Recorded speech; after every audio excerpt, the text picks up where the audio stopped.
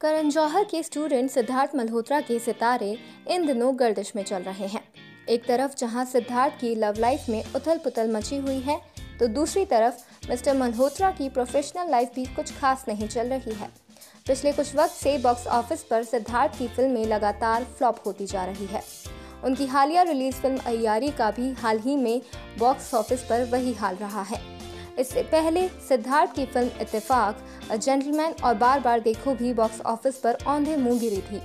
Box office पर इन फ़िल्मों की बैड परफॉर्मेंस की वजह से सिद्धार्थ अब बॉलीवुड पर भरोसा कम करने लगे हैं। उनके पास फ़िल्मों का ऑफ़र भी कम आ रहा है। अपने डावाडोल करियर को बचाने के लिए सिद्धार्थ मल्होत्रा, करण जौहर के पास जा पहुँचे हैं।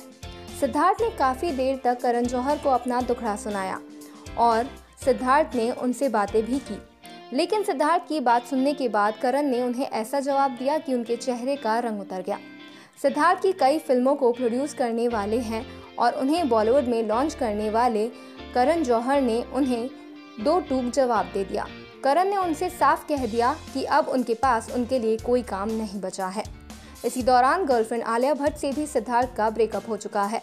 आलिया इन दिनों सिद्धार्थ से दूर और रणबीर कपूर के काफ़ी नज़दीक होती हुई नज़र आ रही है।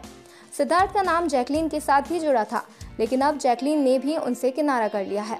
जैकलीन को सिद्धार्थ के साथ एक फ़िल्म ऑफ़र हुई थी, लेकिन सिद्धार्थ ने उनके साथ फ़िल्म में काम नहीं किया। देखा जाए तो पर्सनल और प्रोफेशनल लेवल पर सिद्धार्थ मल्होत्रा के काफ़ी बुरे दिन चल रहे हैं। और खबरों के लिए सब्सक्राइब करें।